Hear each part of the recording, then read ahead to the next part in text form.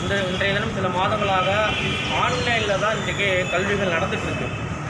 அப்படிப்பட்ட ஆன்லைன் வழி இணையவழி கல்வியில் மாணவர்கள் தன்னுடைய கவனத்தை செலுத்தும் வகையில் அரசாங்கம் செய்ய வேண்டியது இந்த ஃப்ரீ ஃபயர் பப்ஜி கேம்லாம் இன்றைக்கி விளையாடிட்டு இருக்காங்க.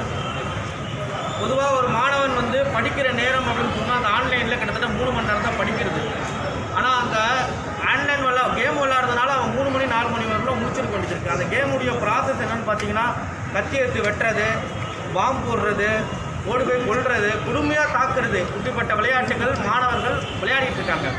இதனுடைய தாக்கம் எங்கே போய் நிற்கும் அப்படின்னு சொன்னால் மாணவன் அந்த வக்ர புத்தி அந்த உக்கிரமான ஒரு புத்தியை உள்ளக்குள்ள கொண்டு வரான். உள்ளுக்குள்ளே அந்த சிந்தனை வர்றதுனால என்ன ஆயிடுதுன்னா அவன் வெளியில் போய் அடிக்கிறதுக்கு தோணுது அவனுக்கு. அதனால் மரணங்கள் தற்கொலைகள் நடந்துட்டு இருக்கு. அந்த கேம் விளையாடுறதுனாலே தற்கொலைகள் நடந்துட்டு இருக்கு.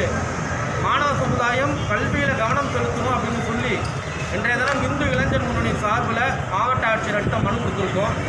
அதிகமான கவனம் மாணவர்கள் இந்த விளையாட்டில் செலுத்திட்டுருக்காங்க. எல்லார் கையிலுமே இன்னைக்கு ஆண்ட்ராய்டு ஃபோன் இருக்குது ஒரு தொழில்நுட்பம் நிறைந்த அந்த கைபேசியை கையில் வச்சுருக்கிறதுனால படிக்கிறது கம்மியாக இருக்குது விளையாடுறது அதிகமாக இருக்குது அதனால் இந்த இணையவழி கல்வியில் அவங்க கல்வியில் கவனம் செலுத்தணும்னு சொன்னால் இந்த தமிழக அரசாங்கமானது இந்த கேமுக்கு அத்தனையும் இந்த விளையாட்டுகள் அத்தனையும் தடை பண்ணணும்னு சொல்லி இன்றைக்கி தமிழக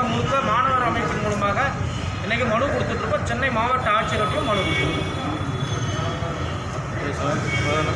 பேர் சொல்லுங்கள் மேகநாதன் இந்து முன்னணி சென்னை மாநகர பொதுச் செயலாளர் சரிங்க